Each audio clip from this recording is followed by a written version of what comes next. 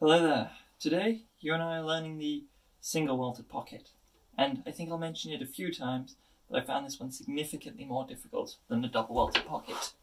Just because you can do one doesn't mean you can do the other. The single part sent me on a run about eight times. Or seven. I don't know. Depends how you count. And before we start, I have one general pro tip for making pockets and I suppose anything in anything in general in tailoring. It's to complete each individual step as precisely and correctly with as much precision as possible. Each mistake is liable to have ramifications through the pocket, and each mistake you don't make, yeah, each mistake you, whatever, is going to, will result in a good pocket. This doesn't start too dissimilar from the double welted pocket, except some of the pieces that you start with are dissimilar. Yeah. So instead of two jets, there's one jet, and it and the bearer are the same size. So 19 by 10 centimeters we're using.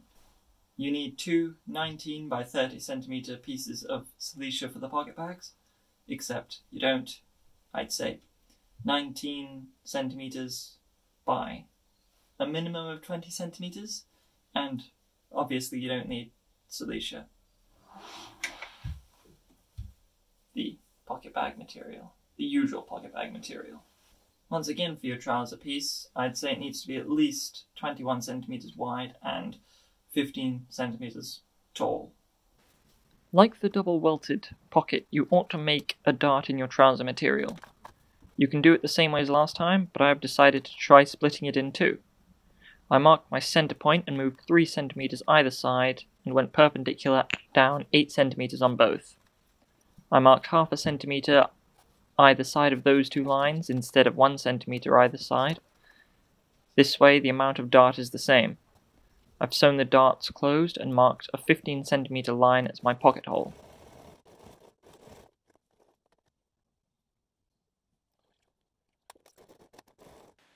Now you've gotten into the habit of cutting away the loose threads as they come, so we'll move on to the...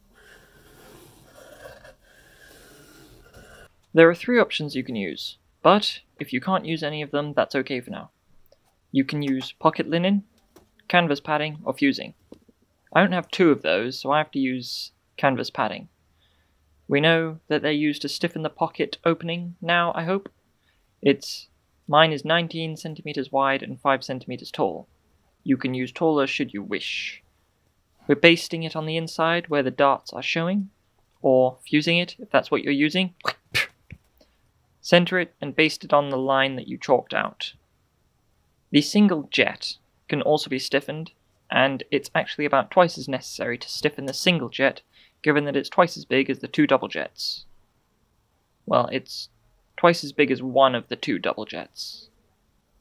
Yeah, but still not needed, not completely needed. It's actually much easier to make the single jetted pocket without it containing any stiffening. Try it without first, and then move on to trying it with. If you try it with, you're only putting the canvas linen fusing on the jet near the pocket opening, not unlike the double jetted pocket. The jet goes on the outside, below the pocket hole, lined up and centered open and centered upon where the opening should be. The bearer shouldn't have anything regardless. The bearer goes on like the top jet would, directly opposing the jet on the bottom. Do be sure to copy off the ends of the pocket hole on the inside of the trouser, base the first pocket bag near the top and bottom, and with all the pieces in position, we'll begin. We're now machining everything together. Machine with the jet and bearer on top. You're using these as a guide for a half centimeter seam allowance, so that there's one centimeter between the two lines of stitching that you're making. It's important that you are precisely starting and finishing where your pocket hole starts and ends. My top and or important tip is to backtack onto the edge of your pocket. Don't start move forward, and then back tack onto it. I personally have had better results that way. Cut your loose threads and you can remove all of your basting so far. Now, cut open the pocket hole. Start in the center and make a small cut such that you can get your scissors in in order to cut a straight line, and stop at least a centimeter half, a centimeter and a half away from the edge of your hole, because we're cutting a mitre, basically a triangle. Move the jet out of the way, don't cut the jet, but cut everything else. Cut very precisely to the edge of the machine stitch. This allows the welt to lay straight once you've folded it. Before we move on, mark a seam 1 centimeter from the bottom of the jet. We're going to iron this up. Start with either the jet or the bearer, turn it out through the pocket hole and spread the seam open and iron it. Uh, you can really tell good ironing boards from bad ones. Fold out what you didn't fold out and iron already and do the same. It's easy to undo the ironing you just did on the other seam when you do the second seam. So lay the second seam against the edge of the board with the first dangling off the edge. With those open, we'll... Not dissimilar to the double welted pockets, it needs to be basted before it can be machined in place. You need to fold the welt such that such that it is one centimeter tall. What's most important, however, is that the welt goes all the way up to the corner of the mitres. If there's a gap, if there's a gap there, your pocket will be deficient. This is why I suggested not putting anything in the jet this time. It's easier to get it up there if it's thinner. By the by, it, this is not an easy thing to do. Case in point, my welt isn't exactly one centimeter, as you no doubt notice. But what's most important is getting the welt into the corner of the mitre, and then doing a consistent welt. And then doing a welt which is one centimeter. so I carried on like that. Don't get confused, just do the best that you can do. It's taken a lot of attempts for me to be able to do it at all. Many failures. Maybe it's just me, maybe it's just the single welt. But don't get dejected by your lessons from the best teacher of them all. In order to base this one in place, it would be advantageous to stitch diagonally. This results in a more secure baste. Something that you can do when basting in order to make sure that your welt is consistent is to measure the welt at the point you just stitched. And if it's the wrong height, you can pull out the basting, adjust as appropriate, rethread the needle and try again. Top tip, I might suggest chalking or basting a line on your jet before you baste it onto the trouser 15mm away from the edge. This way, assuming your half centimeter seam allowance was accurate, you can much more easily determine where the one centimeter point is on your welt, because that is how tall your welt should be. Then it's only the pocket bag and the jet that's being machined together.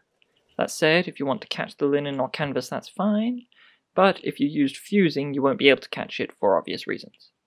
A mistake you don't want to make is to machine further than the edge of the pocket opening. This will create problems when for sewing down the mitre.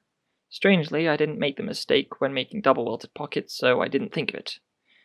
But I specify the pocket bag and jet because we're getting those and the bearer for sewing down the mitre. For sewing the mitre, it's, again, pulling the triangle through, folding the trouser material away, and sewing everything else together. This is the point where we find out whether we basted and then machined the welt correctly. The welt should automatically sit at the top corner, but making sure is always a good thing to do. Pull the bearer down taut and machine with the mitre on top so that you can be sure to sew the edge where the trouser and the mitre meet. Now we're ready to. We're filling the welt onto the pocket bag, so baste it in place but don't go through the trouser. Last time we moved, we just moved it out of the way, but you can put something between them, such as your pattern master. I mentioned in the double welted pocket video that you could prick stitch the D before or after attaching the other piece of silesia.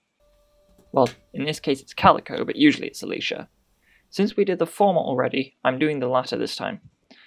I found using a pencil easier than using chalk for marking a D to trace, but I think that I shouldn't rely on it. Practicing using chalk will be better for dark fabrics and it's it'll be easier to remove. Given that they're hidden inside the pocket, they don't need to be the inside doesn't need to be as neat as I'd like them to be if they were on show, but apparently practice results in an okay looking offside DTAC. Now we attach the other half of the pocket, moving all of the trouser out of the way, and when you have a whole trouser leg to move out of the way, you'd better baste the pockets together in order to keep them together as they are machined.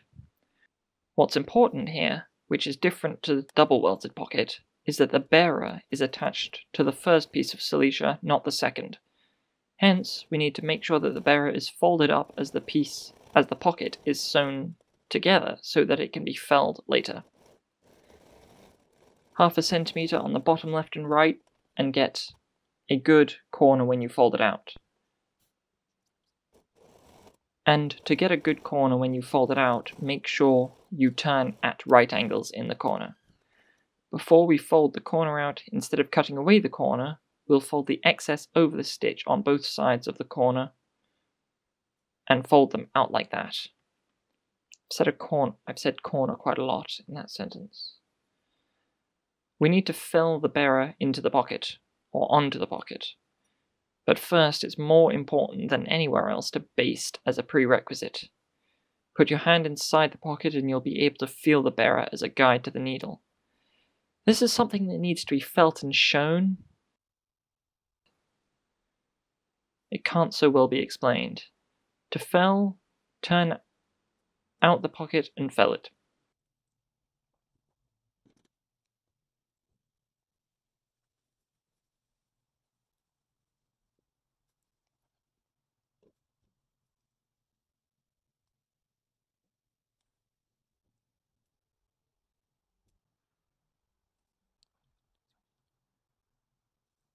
Yeah, simple enough. Remove the basting and we'll enfrenchen our seam. First, however, I'm going to go through the rigmarole of basting the seam this time. And I think you should as well. You know, for practice and or posterity. posterity. Moving the stitching right to the edge and basting it to make sure that neither is neither side is overbearing the other. I mentioned in the other video that you can roll and push and you can use your knee or you can use your needle to pull the stitches front and center, or both. What's important is that you pull the thread, not the fabric. If you pull a piece of the weave, uh, bad things. Machine with a half centimeter seam allowance, and now we don't actually need to finish the pocket because we already did the DTACs. Or I did. You may still need to do them.